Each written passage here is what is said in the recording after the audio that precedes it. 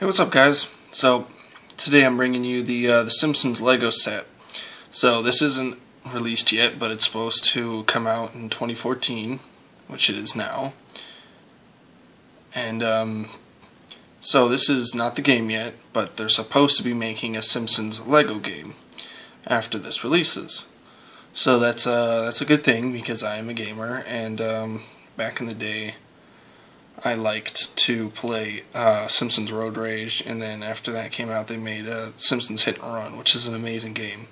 They ended up coming out with um, the Simpsons game in 2007, which was a good game, but not as good as um, Simpsons Hit and Run. There was no vehicles and you know uh, the Simpsons game, but in Lego games, you know there there are um, vehicles, so they could actually make this this game, kind of like um, Lego Batman 2, fully co-op, fully open world, everything like that. They could do it, you know.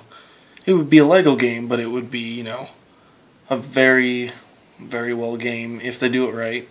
They're also supposed to be making a Simpsons RPG, so that might be interesting on how that is. Um, that would be quite amazing. Um, yeah, so these are the, the pictures and everything of what's supposed to be in it. It's on a little slideshow right here. But um, that's it.